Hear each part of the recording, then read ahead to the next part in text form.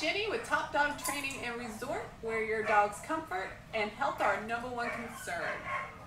Mr. Chang is a pug, and he is here today to help me teach you about the pug breed. Pugs are happy and affectionate, loyal and mischievous.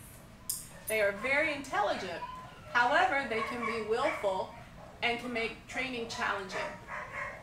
A pug is a dog for you if you want a dog who is small, yet sturdy, and has a soft coat that's easy to groom. He's usually polite with everyone, including other pets. Doesn't need much exercise, seldom gets into real mischief because adults spend most of the day snoring.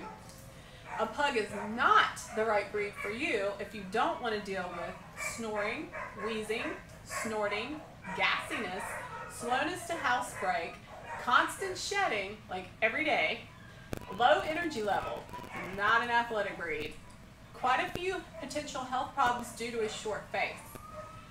Here are some tips on how to minimize problems. His respiratory system is compromised, so don't smoke near him. Don't use chemical cleaning products and keep him away from allergen, allergenic pollen and freshly cut grass. If it's hot or humid weather, minimize his outdoor activity and keep him in an air-conditioned home. Pugs have a high risk of heat stroke because they can't pant vigorously enough to lower their body heat. Walk him in a harness that wraps around his chest and not his throat. A collar puts pressure on his windpipe and makes it harder for him to breathe. Wash and dry the folds of his skin on his face after every meal.